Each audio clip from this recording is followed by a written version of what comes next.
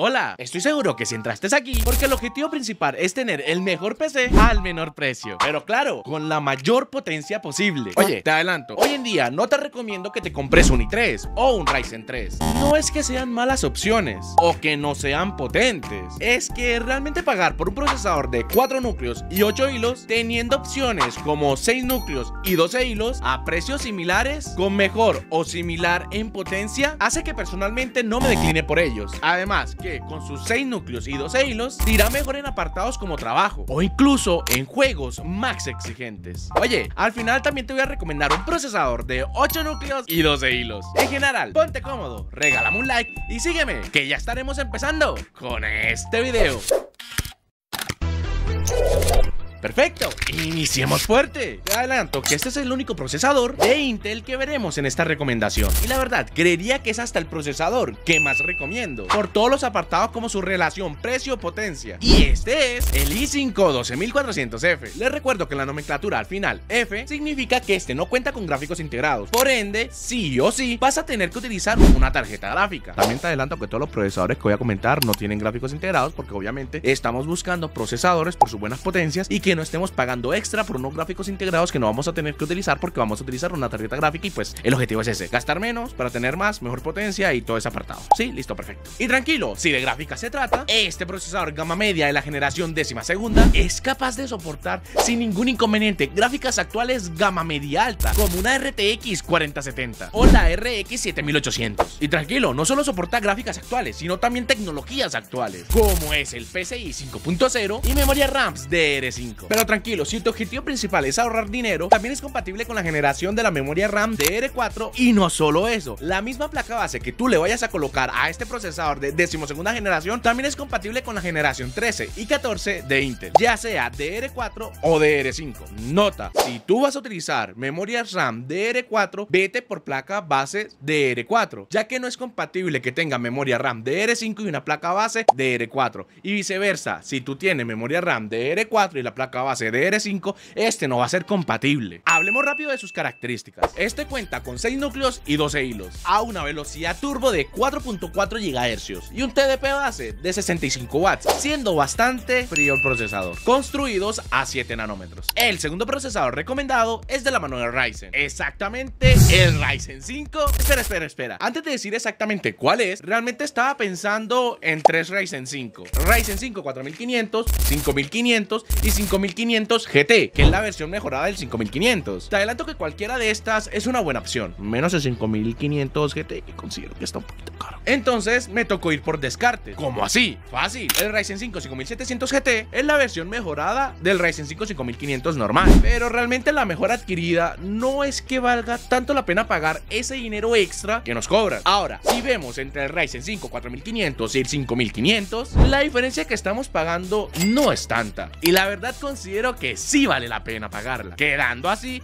el Ryzen 5 5500 como la mejor opción, calidad-precio. Te comento rápidamente, es menos potente que el procesador anteriormente comentado de Intel, pero también su valor es menor. Pero hay que tener en cuenta también otros factores, como tecnologías que este mismo incorpora. Exactamente cuenta con el PCI 3.0. Este procesador sin ningún inconveniente podríamos ajustarlo con gráficas gama media, como es la RX 7600 o la RTX 4060, pero por la tecnología del PCI va a haber un leve cuello de botella, ya que estas son tarjetas gráficas de PCI Express 4.0 y el cuello de botella aproximadamente sería de un 5 a 10%, solo por el PCI Express. Y todo esto no quita de la ecuación que es un procesador calidad-precio, que tranquilamente podría recomendar. Como comenté al inicio, los procesadores i3 no es un procesador que yo recomiende mucho. Lo podemos comparar exactamente con el décima segunda generación, el i3 12100, el cual la potencia entre estos dos son similares. Hay veces que en los juegos este procesador Intel puede tener más FPS que el procesador Ryzen, pero la verdad también hay veces que el procesador Ryzen va a tener más FPS que el procesador Intel, o a veces las dos exactamente en el mismo punto. Y también hay que tener en cuenta, los dos procesadores salieron exactamente el mismo año, en el 2022, y con todo lo comentado, Ryzen 5 es mejor. ¿Por qué? Porque vale menos, la potencia es similar y cuenta con 6 núcleos con 12 hilos, comparado con los 4 núcleos y 8 hilos del i3 i3. Pero claro, el i3 tiene más tecnologías como un PCI Express 5.0, DR5, y que también es compatible con los procesadores de la última generación y todo ese apartado. Pero si el objetivo es ahorrar, no es que recomiende mucho. Podrías ir por el i5 12400, que también genera más potencia y también cuenta con estas tecnologías. Por cosas como estas, AMD dejó de sacar los Ryzen 3. Características generales del Ryzen 5 5500. Como comenté, cuenta con 6 núcleos, 12 hilos, a una velocidad turbo máxima de 4.2 GHz y con la posibilidad de hacer overclock. Pero si tú no le sabes a esto, no le toque. Construido a 7 nanómetros y un TDP base de 65 watts. Entramos a la tercera y última recomendación. Estaba pensando en hablar en los últimos procesadores, las últimas generaciones, tanto de Intel como AMD, como es el Ryzen 7000 o Ryzen 8000 o Intel generación 13 o 14. Pero el título del video lo dice muy claro, calidad-precio, el cual recalco, calidad-precio no significa que sea económico o barato, pero el objetivo principal es gastar lo menos posible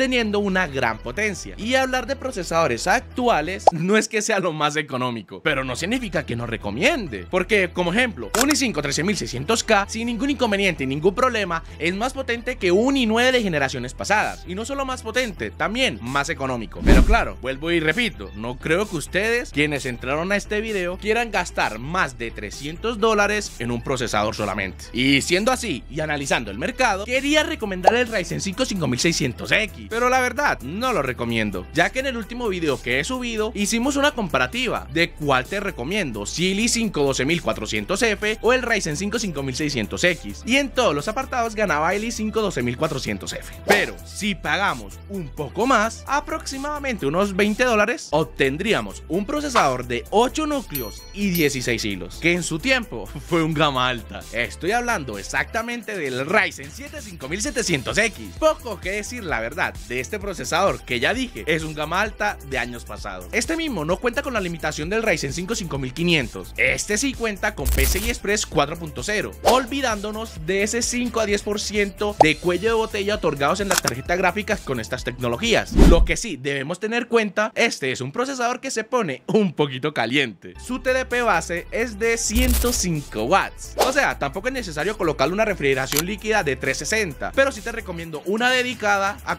del stock que no refrigera mucho. Hoy te voy a ser claro, en juegos no vamos a encontrar tanta diferencia entre un i5 12400F contra este Ryzen 7 5700X. Y entonces, ¿por qué te recomiendo pagar ese extra en un procesador más caro con la misma potencia de un procesador más barato? Fácil, por sus 8 núcleos y 12 hilos. Ya que si nosotros llegamos a pensar más allá de lo que es juegos, hablando en apartados como trabajo exigente, aquí sí va a ser necesario tener más núcleos e hilos. Ejemplos rápidos, streaming, edición, grabación, programación y entre otros. Oye, recuerda regalarme un like, seguirme si este video no solo te gustó, sino que fue de utilidad y coméntame con qué procesador te quedarías tú. Siendo así, hasta la próxima.